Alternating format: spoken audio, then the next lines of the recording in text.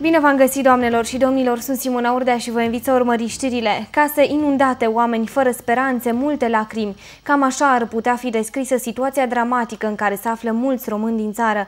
În ajutorul sinistraților a venit și administrația locală, care a instituit un centru de primire a ajutoarelor. Astfel, orice făgărășan este așteptat să dea o mână de ajutor oamenilor în nevoie.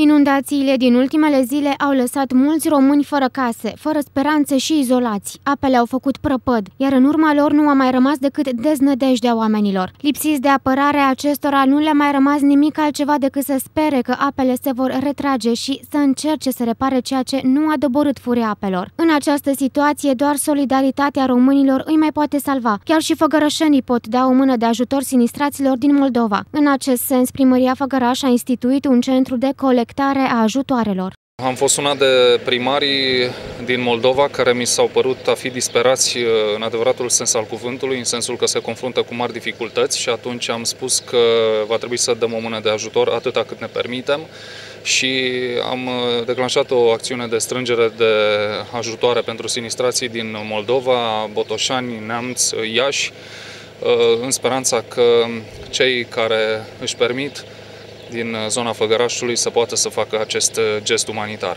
Toate lucrurile care se vor strânge vor fi donate la sfârșitul acestei săptămâni oamenilor din județele cele mai afectate. Însă, tot în aceste zile, făgărășenii pot dona și materiale de construcții la același centru de la Cercul Militar. Și asta pentru că administrația locală va ajuta o localitate din județul Iași, mai precis Mogoșești-Siret. Aici, 11 case au fost afectate în urma inundațiilor, iar acestea trebuie reconstruite. Oamenii au nevoie de materiale de construcții. În cea de-a doua fază ne-am gândit să ajutăm concret o localitate afectată, de o localitate mai micuță, o localitate de 4200 de locuitori. Este vorba de o localitate din județul Iași, afectată de apele Siretului și sunt acolo câteva case de dărâmate, câteva case demolate de ape și ne-am propus ca în etapa a doua să strângem materiale de construcții, Uh, orice este binevenit, uh, cherestea, cărămidă, țiglă.